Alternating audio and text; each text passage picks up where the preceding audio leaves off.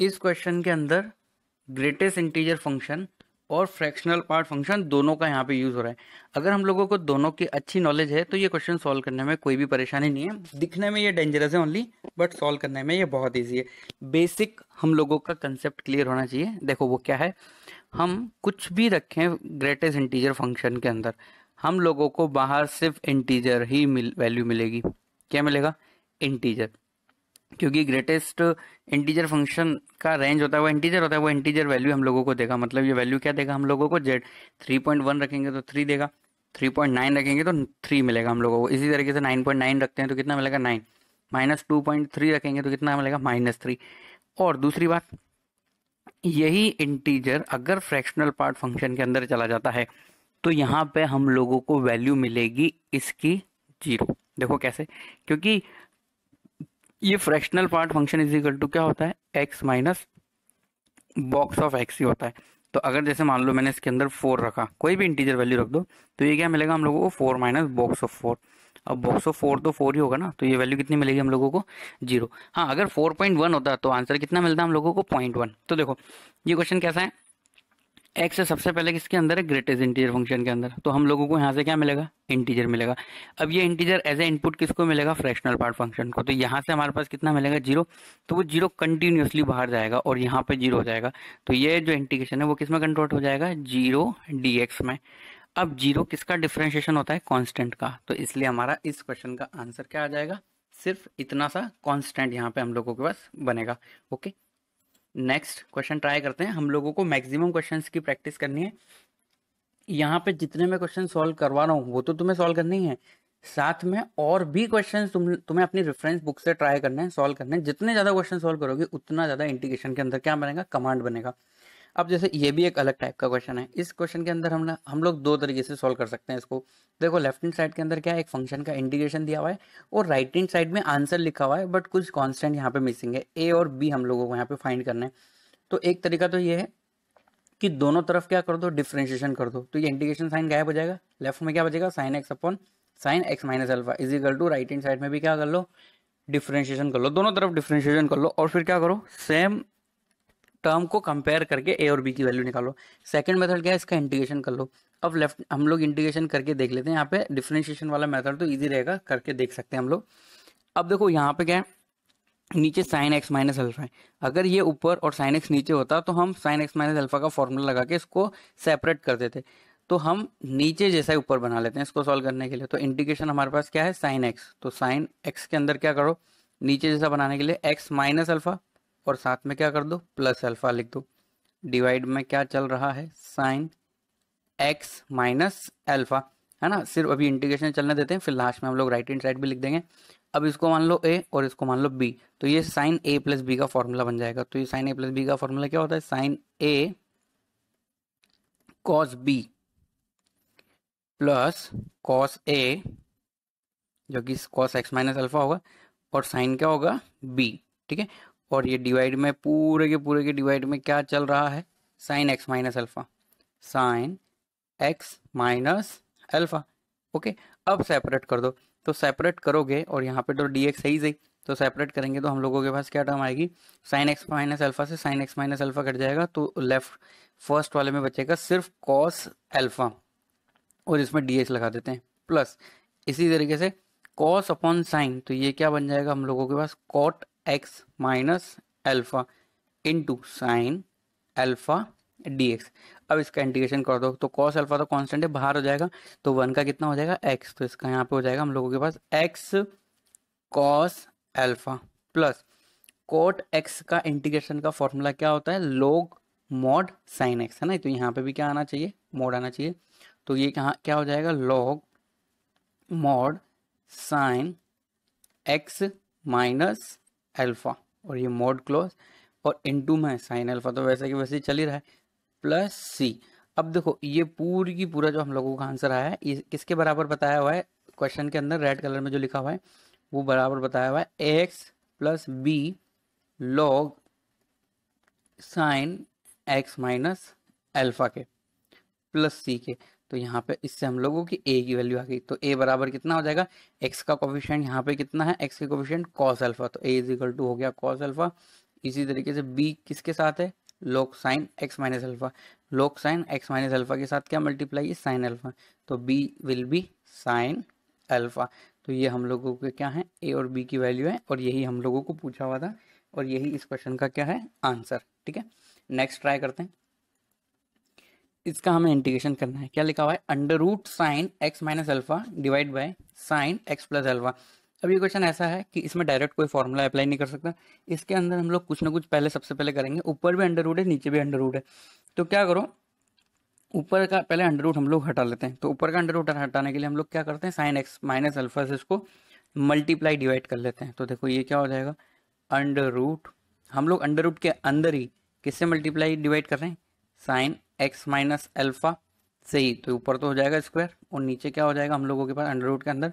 Sine x plus alpha into sine x minus alpha. ऐसा बन जाएगा, और ये हो गया हम लोगों का डी एक्स क्लियर अब देखो, ऊपर स्क्वायर है तो अंडर रूट से बाहर आके वो सिर्फ़ क्या बन जाएगा? Sine x minus alpha. अब देखो, जो डिवाइड में लिखा हुआ है, वो क्या है? Sine x plus alpha, sine x minus alpha. अब याद करो, ये इलेवंथ क्लास के अंदर हम लोगों ने एक फॉर्मूला पढ़ा था sine a plus b into sine a minus b ये होता है sine square a minus sine square b का फॉर्मूला। तो यहाँ पे हम लोग क्या लिख सकते हैं नीचे? Sine square x minus sine square alpha but ये पूरा का पूरा किसमें चलेगा? अंडर रूट के अंदर ही चलेगा। और ये पूरा का पूरा इंटीग्रेशन है। अब ये जो है साइन एक्स माइनस अल्फ़ा अब इसका हम लोग यहाँ पे फॉर्मूला अप्लाई कर देते हैं। तो अगर हम इसका फॉर्मूला अप्लाई करेंगे तो ये क्या हो जाएगा? Sine x cos alpha minus cos x sine alpha divide by नीचे अंडर रूट वाली टर्म वैसी की वैसी रहेगी। अंडर रूट के अंदर क्या लिखा हुआ है? Sine square x minus sine square alpha अब सेपरेट कर दो। इसके साथ अंडर रूट वाली टर्म और इस वाले के साथ भी अंडर रूट वाली टर्म। तो हमारे पास यहाँ पे क्या बचेगा देखो साइन एक्स अब देखो, वो जो है कॉस वो तो कांस्टेंट है ना तो हम उसको कहाँ लिख सकते हैं? इंटीग्रेशन के बाहर लिख सकते हैं मतलब हम उसको ऐसा लिख सकते हैं कॉस अल्फ़ा इंटीग्रेशन के अंदर सिर्फ़ ये क्या हो जाएगा sine x divide by under root sine square x minus sine square alpha okay d x minus. अब क्या है, ये साइन अल्फ़ा कांस्टेंट है तो ये साइन अल्फ़ा ऐसे कैसे भी बाहर लिखा जा सकता है, और अंदर क्या बचेगा? Cos x divide by under root sine square x minus sine square alpha d x तो ये हम लोगों की टर्म यहाँ पे, यहाँ तक बचकर आ गई है। अब देखो, इसके आगे हम लोग क्या कर सकते हैं तो इसमें सॉल्व करने के लिए कोई ज़्यादा दिक्कत नहीं है। यहाँ पे हम लोगों के पास, ये जो sine square x minus sine square alpha है नीचे, इसको है ना कॉस में चेंज कर देते हैं हम लोग। इसको इसको अगर हम कॉस में चेंज कर देंगे नीचे तो कॉस को टी मानेंगे तो ऊपर साइनस उसका क्या रहेगा? ऊपर साइनस इसका क्या रहेगा? डिफ्रेंशिएशन तो इसको हम लोग चेंज कर देते हैं थोड़ा सा। तो इसको हम क्या लिख सकते हैं? कॉस अल्फ़ा वैसा का वैसे ही बाहर। और ऊपर क्या है? कॉस अल्फ़ा तो है ही सही, साथ में क्या है? साइन एक्स है। अब हम लोग क्या कर लेते हैं, नीचे वाले जो साइन है, उन सभी साइन को हम कॉस में कन्वर्ट कर देते हैं। तो कॉस में कन्वर्ट करने से ये क्या हो जाएगा cos square alpha minus cos square x minus इस वाले के अंदर कोई दिक्कत नहीं है हम लोग। यहाँ पे हम लोग सिंपली साइन एक्स को टी मान सकते हैं, है ना? मन में साइन एक्स को टी मानो। तो cos x d x cos x d x is equal to क्या हो जाएगा? डी टी हो जाएगा। तो ये क्या हो जाएगा? D t upon sine square यहाँ ओके ये वाला यहाँ पे फ़ंक्शन है। तो यहाँ पे ये क्या हो जाएगा, देखो sorry sine square x minus sine square alpha तो यहाँ पे हम लोग क्या साइन एक्स को टी मान सकते हैं और ऊपर कॉस एक्स इसका क्या है? पहले से ही क्या अवेलेबल है? डिफ्रेंशिएशन अवेलेबल है।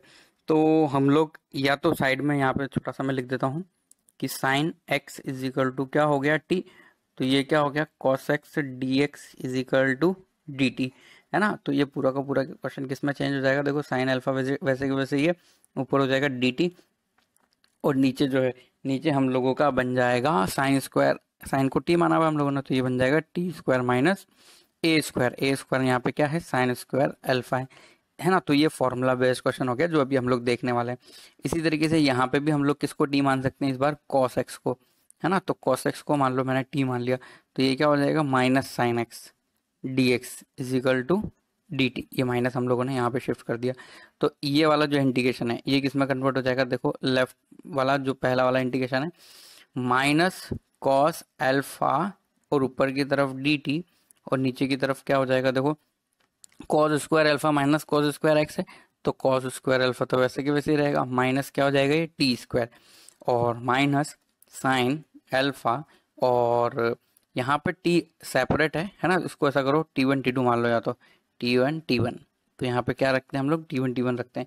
और इधर क्या कर देते हैं? टी टू कर देते हैं हम d t two t two सही रहेगा, इससे टी वन टी टू अलग रहेगा। तो यहाँ पे हम क्या लिख सकते हैं? D t two upon t two का whole square minus sine square alpha अब देखो, ये लेफ़्ट हैंड साइड वाला भी फॉर्मूला बेस्ड है और राइट हैंड साइड वाला भी फॉर्मूला बेस्ड है। मतलब पहली टर्म और दूसरी टर्म लेफ़्ट और राइट नहीं सॉरी पहली और दूसरी टर्म दोनों की दोनों क्या है? फॉर्मूला बेस्ड है. वही फॉर्मूला अभी हम लोग देखने वाले हैं. तो उस फॉर्मूला को देख के हम लोग यहाँ पे फॉर्मूला अप्लाई कर देंगे. तो फ़र्स्ट वाला तो कुछ भी नहीं है साइन इनवर्स का हो जाएगा. और जो सेकंड वाला है सेकंड वाले को भी हम लोग लिख सकते हैं. यहाँ पे क्या लिखा हुआ है? A square minus t square है. और यहाँ पे क्या है? T square minus a square तो ये लोगरिदम वाला बन जाएगा. और ये किसमें बन जाएगा? साइन इनवर्स वाला फॉर्मूला यहाँ पे कन्वर्ट हो जाएगा। तो इसका हम लोग आंसर लिख सकते हैं। देखो, ये कितना हो जाएगा? Minus cos alpha sine inverse minus cos alpha sine inverse cos x divide by cos alpha मतलब होगा क्या? T upon cos alpha but हम लोगों ने टी की वैल्यू रख दी कॉस एक्स इसी तरीके से राइट हैंड साइड वाला भी हम लोग लिख सकते हैं आंसर माइनस साइन अल्फ़ा तो वैसे का वैसे ही रहेगा।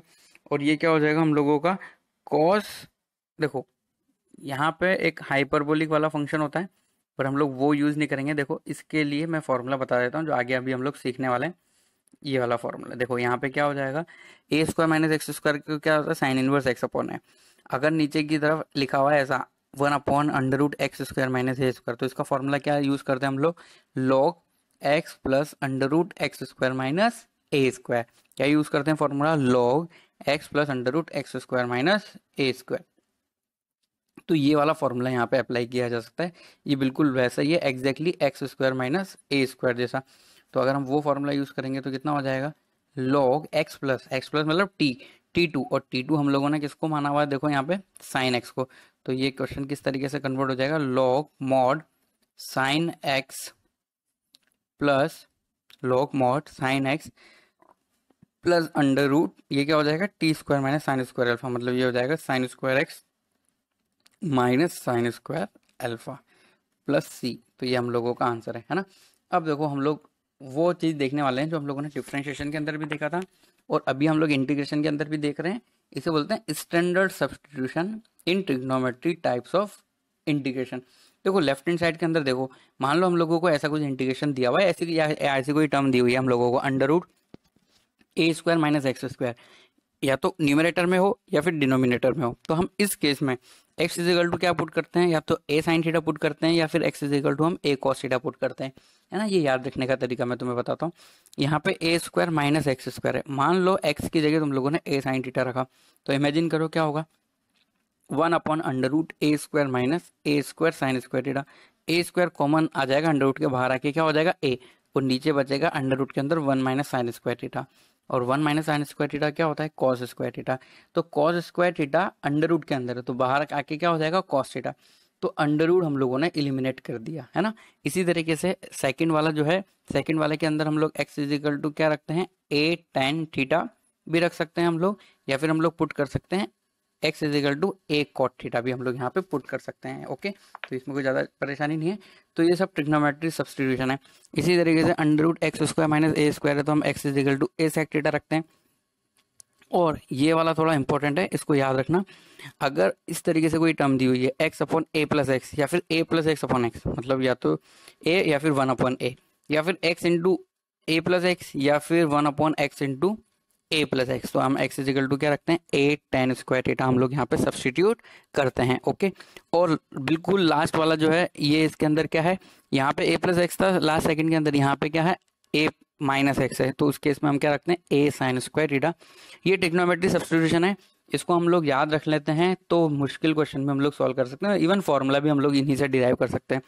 इसी तरीके से देखो x upon x minus a है। यहाँ पे क्या था? ए माइनस एक्स यहाँ पे क्या? X minus a.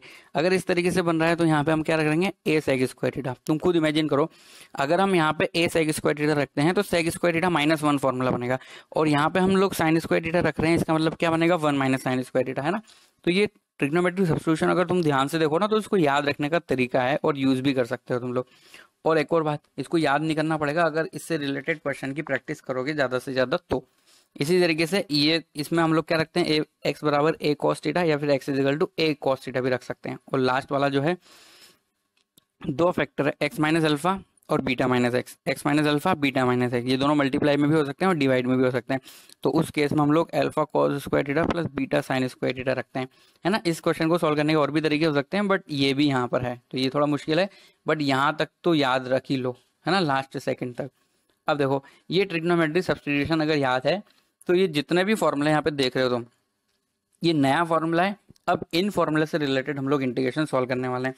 तो इन फॉर्मूला से रिलेटेड अगर हम लोग इंटीग्रेशन सॉल्व करेंगे तो ये फॉर्मूले में से कुछ हम लोगों को डिराइव भी कर लेने चाहिए। जैसे कि फ़र्स्ट वाला फॉर्मूला क्या है?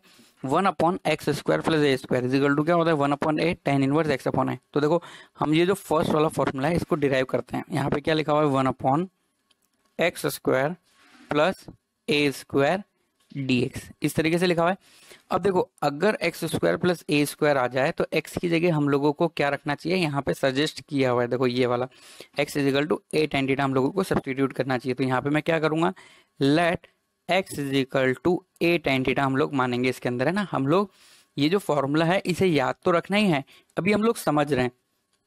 समझ लो, एक बार कैसे आता है, फिर उसके बाद याद रख लेना इसको।